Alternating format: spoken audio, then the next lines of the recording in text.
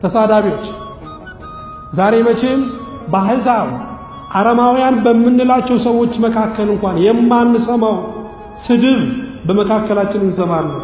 ሚዲያ ሁሉ ስድብ ነው። ይሄ ብቻ እንዳይመስላችሁ እግዚአብሔርን በስድብ እናገለግላለን የሚሉ ሰዎችም አሉ። እግዚአብሔር ግን ስድብ አያከብረውም። እግዚአብሔርን የሚያከብረው ጽድቅ ነው ወገኖች። እግዚአብሔርን የሚያከብረው እውነት ነው። እግዚአብሔር የሚሳደቡለትን አይፈልግም። እግዚአብሔር የሚፈልገው የሚኖሩለትን ነው።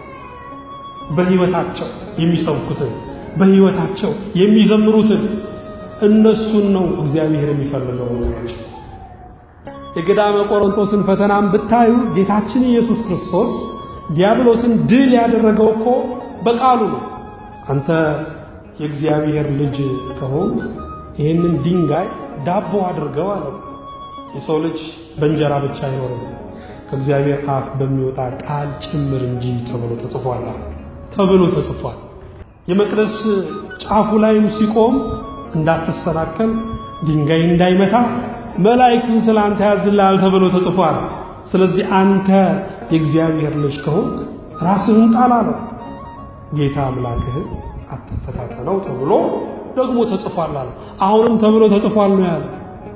የዓለምን ሀብት የዓለምን ስልጣን ሁሉ ካሳየው በኋላ ወድቀ ብትሰግድልኝ ይህን ሁሉ እሰጥሃለሁ አለ።